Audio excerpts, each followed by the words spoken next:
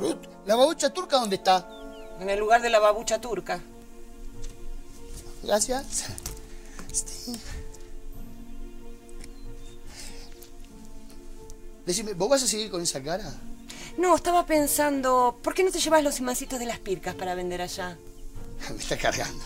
No, como decís que a los cretones les gusta tanto este lugar. ¿Vos pensás que yo quiero dejarte a vos y al pibe? ¿Vos todavía no aterrizaste en la Tierra y ya te querés ir al espacio?